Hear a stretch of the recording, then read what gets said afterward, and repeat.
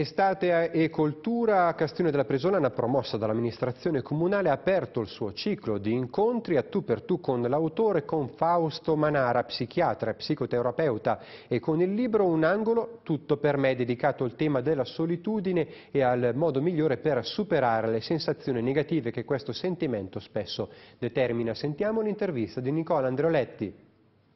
Fausto Manara, imparare a vivere bene significa imparare a stare soli?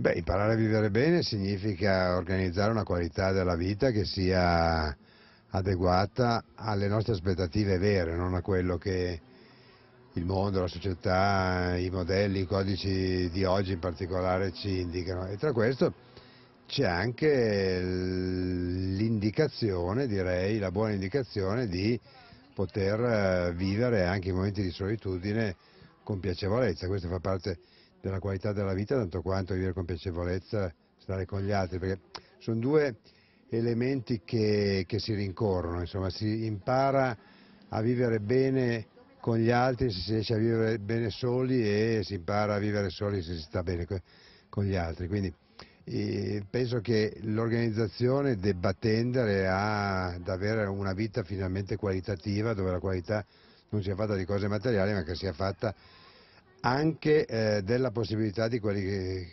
di seguire quelli che sono i nostri desideri. Lei oggi ha diverse volte messo l'accento sulla necessità che abbiamo di disintossicarci, che cosa significa? Beh, disintossicarci significa mm, non eh, sentirci troppo vincolati a quello che eh, sembra ci sia chiesto tutti i giorni da parte del, del mondo in cui viviamo. E disintossicarci significa il poter dedicare più attenzione a quelle che sono le nostre qualità e non vivere preoccupati dei nostri difetti. Perché? Perché le richieste che ci vengono da fuori sembra che ci vogliano, che vogliano tutti senza macchie e senza paura, più senza paura che senza macchie, perché le macchie si possono anche tenere, l'importante è far vedere di non aver paura. Invece le nostre debolezze valgono tanto quanto le nostre qualità, le nostre qualità tanto quanto le nostre debolezze.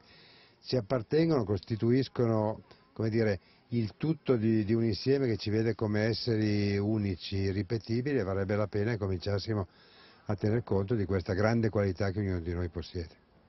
Lei si occupa anche di disturbi alimentari, anoressia e bulimia sono il sintomo che alcune persone manifestano perché non riescono a stare bene soli con se stesse. Ma la radice direi comune di questi, di questi disturbi è la mancanza di autostima, che poi è la, è la, radice comune di ogni tipo di disagio. Quanto più eh, la nostra autostima è debole, tanto più non riusciamo a considerare chi siamo con pienezza, tanto più andiamo incontro a dei disagi. D'altra parte, quando l'autostima è debole, occorre, occorre, che certi sintomi da intossicazione, anche molto gravi come l'anoressia e la bulimia, eh, diventino, diventino il, il, modo di esprimere il disagio e la sofferenza.